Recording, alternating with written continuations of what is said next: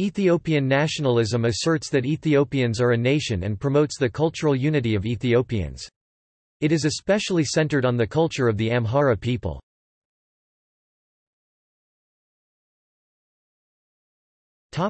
History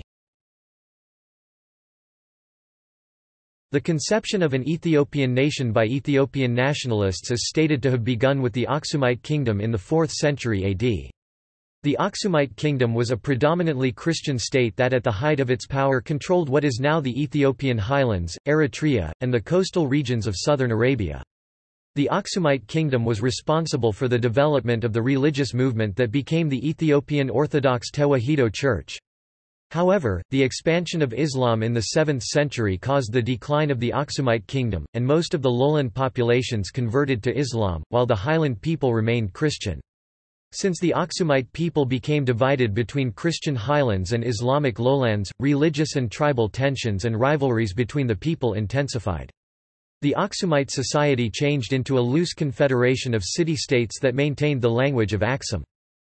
The establishment of modern Ethiopia was led by the Amhara people, particularly Amhara emperors Tewodros II of Gondar, who governed from 1855 to 1868, Yohannes IV, who governed from 1869 to 1889 and managed to expand his authority into Eritrea, and Menelik II, who governed from 1889 to 1913 and repelled the Italian invasion of 1896. Ethiopia, unlike the rest of Africa, had never been colonized. Ethiopia was accepted as the first independent African-governed state at the League of Nations in 1922. Ethiopia was occupied by Italy after the Second Italo-Abyssinian War, but it was liberated by the Allies during World War II. After the war, Ethiopia annexed Eritrea.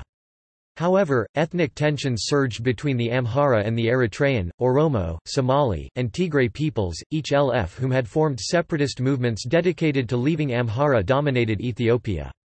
After the overthrow of the Ethiopian monarchy by the Derg military junta, the country became aligned with the Soviet Union and Cuba after the United States failed to support it in its military struggle with Somali separatists in the Ogaden region. After the end of military government in Ethiopia in 1993, Eritrea separated from Ethiopia.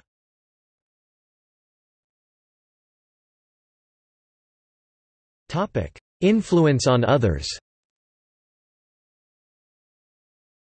Although Ethiopian nationalism was only conceived for Ethiopians and specifically grew out of Ethiopian culture, various non-Ethiopian peoples and polities have over the years drawn inspiration from it. Following the coronation of the Ethiopian Emperor Haile Selassie I Rastafari in 1930, the Rastafarian movement based in the Caribbean erected an elaborate religious philosophy that depicted Ethiopia as the spiritual homeland for Jamaicans.